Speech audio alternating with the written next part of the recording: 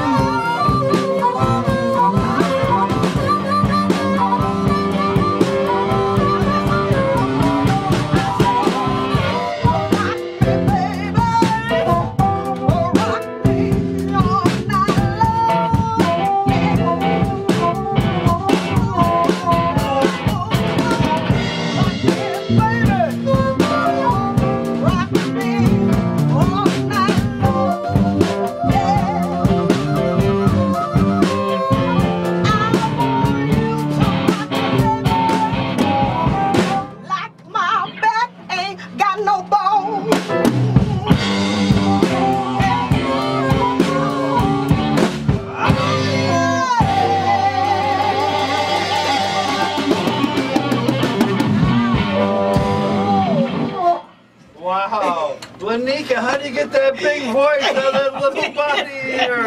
Man, Thank you. that was something else. You guys sound great. Had a little uh, difficulties with the CD, but we're back rolling again. You are Yes. Rock with G Rock. You just heard the Seville Street Blues. How cool was that? That was fun. Very nice. All right. I know I'm trying to bring you up in the headphones there, but uh, it's hard. You try to tell people to play quiet, you know. It's, uh, but you guys sound great. Yes, we You're make you the best great. of it. Thank you. All right. Rock me, baby. Yes, we want to thank you for having us. This is Oh, wonderful. thank you. No, it's my pleasure, man. That's what the demo radio is all about. Yes. I try to expose live local bands, aren't signed to a major label. If you want to play live like the Seville Street Blues, and you want me to play your music, you can reach me at grock, the number four, the letter U, at yahoo.com, or just call my cell, 951 283 8739.